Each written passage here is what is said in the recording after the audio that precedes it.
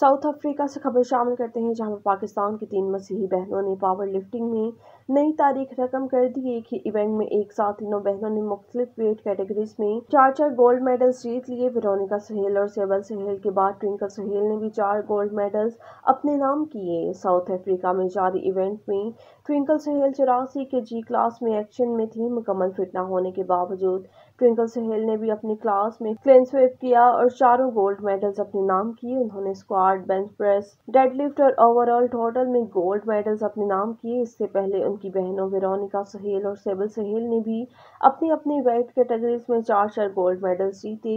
یہ پہلا موقع ہے کہ پاور لفٹنگ کے کس بین الاقوامی ایونٹ میں تین بہنوں نے ایک ساتھ گولڈ میڈلز جیتے۔ تینوں مسیحی بہنیں اب تیرہ جولائی کو ایکوپائڈ ایونٹ میں ایکشن میں ہوں گی۔ صوبائی وزیر کھیل پنجاب فیصل کھوکھر نے سہیل ہیل سسٹرز کو مبارکباد دی اور کہا کہ تینوں مسیحی بہنوں نے تاریخ رقم کر کے ملک و قوم کا نام روشن کر دیا ہے۔ انہوں نے کہا ہے کہ وزیر اعلیٰ پنجاب مریم نواز کی ہدایت پر اسپورٹس بورڈ پنجاب نے تینوں مسیحی بہنوں کو ایونٹ کے لیے ایئر ٹکٹس کے لیے بیس لاکھ روپے اور یونیفارم فراہم کیے تھے۔